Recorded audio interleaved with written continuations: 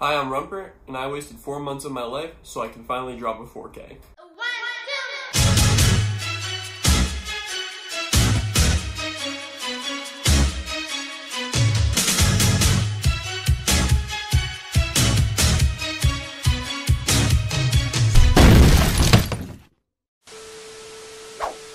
Are you kidding me? I knew I should have never hired that electrician off of Craigslist. Let's just.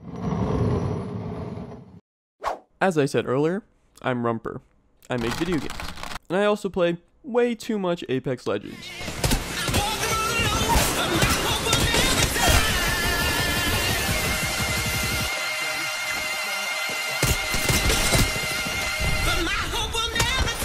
God damn it! So for this video, I Dr. Frankenstein them together and tasked myself with making the best Apex fan game ever made. And I can tell you, with great confidence, that I succeeded. Mostly because there isn't any other Apex fan games out there. But that's not the point. I very much dubbed out. So without further ado, and for the second time, let us begin. So, the first thing on my checklist to do was make some art. See, the only problem with this is I hate art. wow, that actually helped me relieve a lot of stress. I guess I'll go make some characters and props now. But I do need to get that art palette back. Give me that art palette back. Meow. Give it. Meow. Listen here, you little feline. Hey, hey, ah, ah. Wait, what are you grabbing? Meow. Wait, please, anything but that. Anything but that. Uh, at least I got the palette back. Meow. Hey, what's up guys? Welcome back to another game making tutorial. Today, we are going to make a map. The first step is, you're going to want to get all your art assets together. Once that's all made, you can boot up Unity and then whip out your handy dandy tile palette tool. And then, you're just going to want to start vigorously clicking.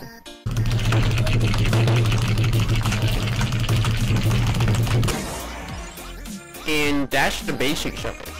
Now, you're just gonna want to do that again and again and again and again and again and again and again and again and again and again and again and again and again. And that's basically how you make a map.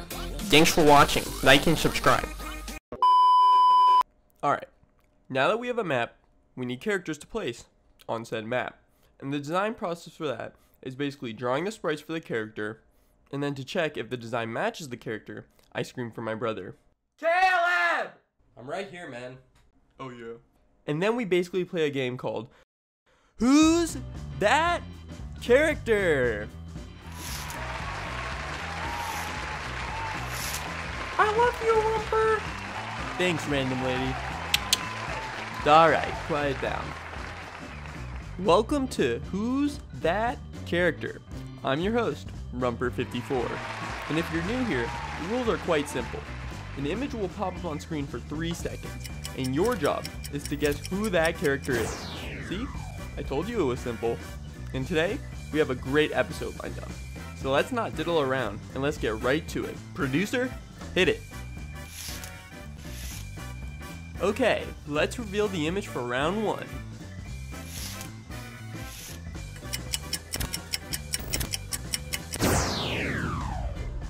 For legal purposes, if you guessed hit character Wraith, you'd be correct. Not too bad of a first round. I think most of us got that. The next one's a little trickier though, so let's move on to round two. Alright, let's roll the tape.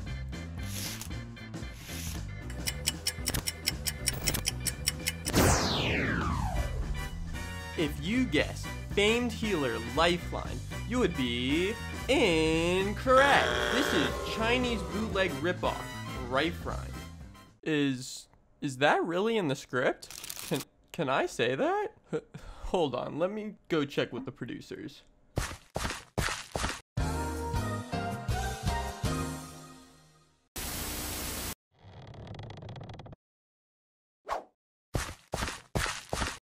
Okay, the producers told me, quote, the Asian homies are mad chill.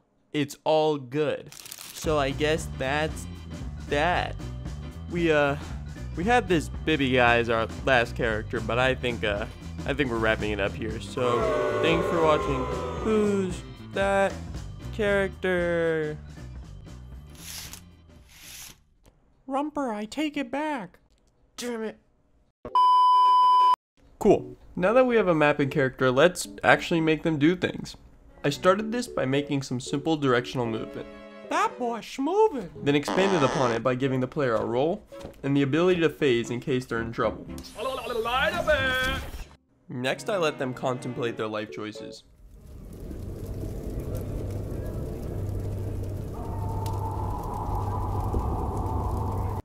Then I gave him a gun. It's the one and only Digo Double G. The thing about a gun, though, is what's the point of it if there are no enemies? So, let's make some. Nice. I capped. Not nice, not nice. By the way, in case you are wondering how I'm doing all this, I use Visual Studio. The programming software I use. And code in C Sharp. I then script furiously for a couple hours, and after that, you just jam the script into the character and voila. It works. Kill me. Most of the time. Okay, maybe like 50% of the time. Yeah, so that was more or less kinda how I make these things. Sorry to the nerds for not going into insane detail about how I make them. It just takes a long, long time to make it, and it's also extremely boring. So it's easier to just show what it does rather than how it's made. But because of that, you only get to see the surface level stuff, and not the stuff that makes you want to shove your head through a wall. For example, in Apex, when you kill an enemy, they conveniently drop a death box. Great. I can just use that as the pickup system. Easy! But you are wrong. It was not easy. It was very, very hard. I spent two weeks programming, designing, arting? I think that's what you call it. A beautiful, majestic death box. But it was also clunky as hell. And in the end, I just had to bite the bullet and make it Fortnite. Okay, let's get back on track. Where were we? That's right. We have a character, map, enemies, and a pickup system. But our pickup system has nothing to drop. So let's whip some up. I made the pickup system into two parts, guns and items. I will explain the difference later. I started with the weapons because the only gun currently is the P20. And I hate the P20. So let's add the car, Peacekeeper, R301, Sentinel, Volt, Wingman, and of course, who can forget, the Mozambique. Mozambique, yeah. They may all basically do the same thing, but that's fine. For now. Alright, cool. The player has a bunch of weapons, but how is the player supposed to get all those weapons? Unless the enemies have them all too. I'll be right back. Noise. Okay, we have the guns finished, but that's only 50% of the equation. Now you have to add the items. These weren't actually too bad to make, mostly because it's just a couple of healing items, you know, medkits, syringes, shield batteries, shield cells, and then an ammo drop. And then the coolest of the items, the arc star.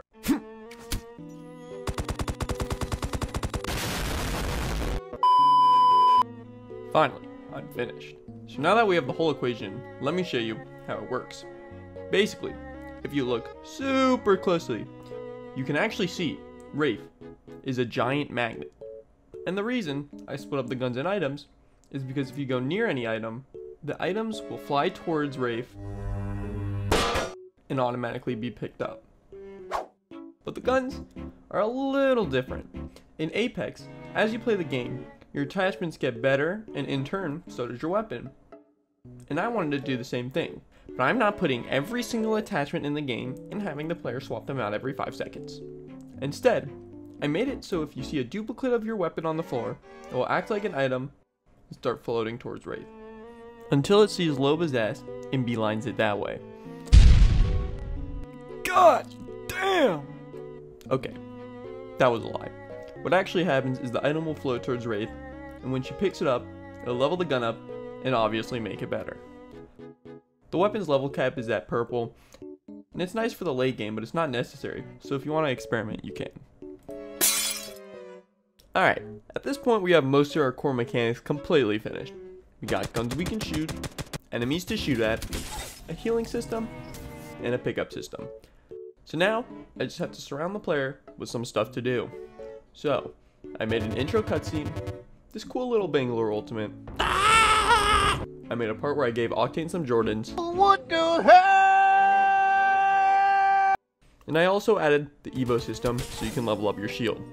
And overall, I just made more skins for the enemies and more places to fight. And at this point, I was already two months into development and was getting very burnt out. So I thought the game was at the point where it's good enough that I can polish and finish it up. So once everything was up to code, I called over my cousin and had him playtest it so I can get some feedback. So, what did you think? Yeah, um... Overall, everything feels clunky, the enemies take way too long to kill, your character moves way too slow, all the guns are the exact same, there's only one cutscene, the jokes aren't funny, the mechanics feel sluggish, the intro cutscene doesn't even tell you how to play, the UI doesn't have a kill feed, damage counter, or kill counter, the lasagna was subpar, and yeah, it was just kinda bad. My game? Bad? I'll show you whose game is bad!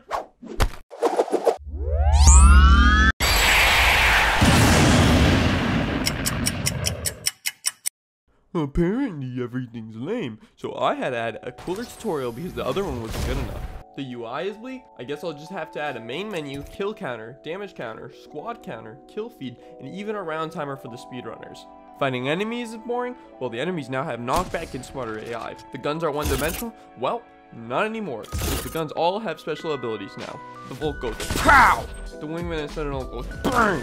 Peacekeeper goes The car goes Scissor the R301 goes, wait, actually the R301 is the same, so, so it's the same. But the P20 in Mozambique, I even made a little secret for, so if you can get them to level 4, it goes And that still wasn't enough. I still hear yapping about there only being one cutscene, well I added cutscenes. Lots and lots of cutscenes. And still, where, where, where, where, where, where, there's nothing interactable on the map. Well, here's some zip lines, caustic gas traps, Wattson fences, rampart wall. Bangalore even does her classic Bangalore thing where she launches smokes at you. Oh, I fucking hate Bangalore! Wait, I never actually tested Bangalore smokes. Hold on. Alright, I'm testing out Bangalore smoke grenade. Let's see how this goes.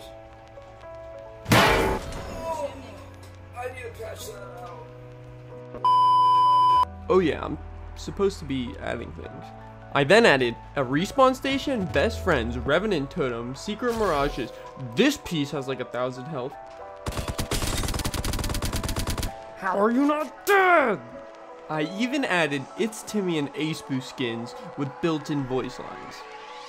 Alright, let's test out the voice box. I will systematically weed all the lifelines out of the gene pool. Uh... Poggers. Now that's more like it. You can access the skins by typing It's or Aceu in the main menu. And to finish it off, the icing on the cake. The most epic, insane boss fight of all time! And you also get an Apex pack. Whew. I think I'm finally done. This took me an extra two months, so the game's probably not bad anymore. It's probably now just okay. So now this is the part where I pray to respawn, please let this game be. I worked really, really hard on this project, and I honestly made this game, so after working 5 hours on it, I had an excuse to hop on Apex and feel like I did something productive. I'm also making $0 directly off the game, because I don't want to run ads on it, and my YouTube has 70 subscribers, so I can't even monetize it if I wanted to. The only way I will make any revenue is donations off of Itch and a Patreon. The link's down below. And in the next video, all the money that I made from this project will be put into the next project so I can show you guys how much more you can do with even a really small budget. Even though the money I'm gonna make from this video is most likely only gonna get me a spicy chicken sandwich from Chick-fil-A. But hey, I call that a good deal. I love you, spicy chicken sandwich. Okay, now that Respawn is hopefully in good graces with me, it's stats time. This part isn't so I can go, woe is me, look how long this took. No, this is gonna be at the end of every video I make and is for me to look back at so I can see what I did good and bad with the project. So I can level up my skills and give you guys some more insight into how these projects are actually made and what it nets me. So now, let me change into something a little more professional. Now that I'm looking spiffy, I'm first gonna go over how long it took to make this project. It took roughly 600 to 700 hours to make over 5 months, and I worked about 3 to 5 hours a day on the project. I would say about 550 hours were spent making the actual game. This entails coding, making art, writing, and designing the game. And then it took about 100 hours to edit the video, which is a little longer than usual because it was my first time making a production this big, and I had to figure out a lot of stuff. But damn, this timeline. Any editors looking at this, I'm sorry I just gave you an aneurysm. Now I want to talk about the project details. In total, I made 153 scripts to make the game work. And I would show you all the art that goes with the scripts, but I actually organized it too well. So instead, you'll have to look at these animations for reference. Each one of these triangles represents an animation which are usually about 4 to 6 sprites long. So, a lot of art. And I would talk about all the scenes and how much stuff is in the inspector, but nobody cares. So I'm just gonna go to the to the next part. In this next spot, I would talk about the amount of money, views, subscribers I got from the last project, but there are none, so you'll just have to wait till the next that time. And lastly, I want to talk about the lessons I learned from making this project. The biggest lesson I learned that isn't, ah, make cleaner code or ah, make sound effect here, would be my biggest mistake. I should not have made a game on this large of a scale by myself. And this really shows with the art. I had to make all of it by myself and I suck at art. Which means I had to do a lot of the animations in a really roundabout way. And that ended up making everything work, but it was all 6 out of 10 quality. So the game's fun and cool, but nothing blows you away. I'll give you a quick example. The Volt's ability is a right click that charges and shoots a giant yellow projectile. My, what happened to my flowers? My beautiful calla lilies. Ooh, that was a little embarrassing. We're just gonna pretend that didn't happen, and I'm gonna go explain what I imagine the Volt's like, and we're never gonna speak about this again. So, I imagine when you right click, Wraith takes the Volt and you hear the charge start to creep in. Meanwhile, you can see Wraith grip the slide and yank it back almost as she was trying to start a chainsaw. Excuse me, have you seen where that loud explosion came from? Um, yeah, it, it came from up there. Oh, why thank you, dearie. I just have a couple words for them. no problem. Um, anyways, back to my imagination. You then see a faint yellow ball start This to slowly become larger and more lily. intimidating in scale, and then boom! Wraith pulls the trigger and a beam will like blast through the barrel, disintegrating any enemies that even come close. But in reality, it looks like this. Which does the same thing, but one has way more emphasis and pizzazz. It makes everything feel responsive and powerful, which is why for my next project, I need to focus more on making a very Small. but highly polished game. If I had to make this lesson into an analogy, it would be the game I made is like a T-bone steak. It's good and tastes more than fine, but you aren't blown away by it. I should instead focus on making a game more like a grade 5 Wagyu beef. Smaller, but you savor every bite. And that's a wrap. I can finally reward myself with some mac and. Ah, my eyes! Ah, what the? Nah, I must be tripping. Yeah, he's definitely fake. Right? Get that shit out Ah, of it's real. I'm calling the police. here. No, you ain't. Damn, where did you even get that from? You don't even have any pockets. That's not fair. That's not fair. Shut up. Ah! Alright, I'm sorry. What do you want? I want your game. My company specializes in stealing, uh, I mean, taking games and turning them into content for our boss. Okay. Now, as per company guidelines, you have two options. You can either give me the game and we'll handle the rest, or you can keep the game, but you'll have to make another video following some guidelines. So, what will it be? I I guess I want to keep my game, but what are the guidelines? Oh, nothing too bad. Couple shocks here, couple paintballs there. Nothing too insane. Just take a look. Here's the paper. Thanks. Thanks for choosing BDC. The guidelines for your next shoot includes, but is not limited to, being egged, slapped, tased, shocked, shot, bopped, rolled, and even being put in a triangle choke. Warning. BDC.co terms of service does not hold us liable or reliable for any discomfort, pain, missing ligaments, disappearance of pet hamsters, or and death that can possibly occur during filming. Thanks for choosing us. Oh no.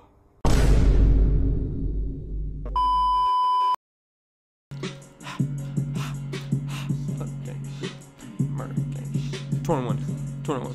21. 21. Me and Drake, he eat my ass like cake. So much money, bitch, I think I need a rake. He eat my booty out like I owe him an estate.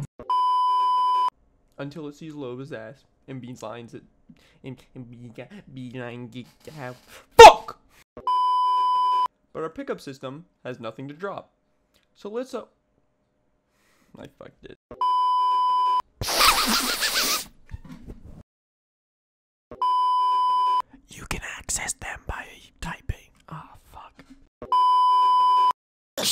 was insane.